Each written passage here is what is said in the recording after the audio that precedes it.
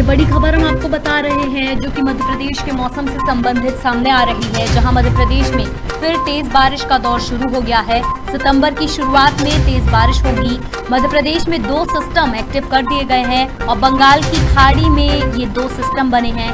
जहाँ तीन से चार सितंबर तक प्रदेश में तेज बारिश का अलर्ट है और तेज बारिश का अनुमान भी जताया जा रहा है। मध्य प्रदेश में एक बार फिर से तेज बारिश का दौर शुरू हो गया है। बीच में बारिश कम हो गई थी, लेकिन आज फिर से कल से तेज बारिश का दौर जारी हो गया है। मध्य प्रदेश में दो सिस्टम एक्टिव कर दिए हैं इसी को लेकर, दो सिस्टम एक्टिव हो चुके हैं इसी को लेकर, और बंगाल की खाड़ी में ये दो सिस्टम बनाए गए हैं, जहाँ तीन से चार सितंबर तक पूरे प्रदेश में तेज बारिश की अनुमान जताई जा रही है। तीन से चार सितंबर तक प्रदेश में तेज बारिश का दौर रहेगा, यह अनुमान जताया जा रहा है। तो ये मध्य प्रदेश के मौसम का जायजा हम आपको बता रहे हैं, जहाँ सितंबर की शुरुआत में तेज बारिश के आसार हैं।